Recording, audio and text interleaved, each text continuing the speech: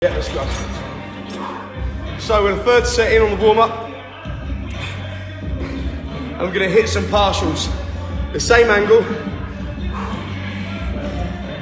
Fuck. Same movement.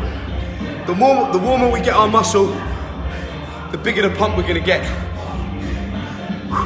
throughout the session on the other exercises. So I'm not gonna do a full extension. Ah, there. Ah.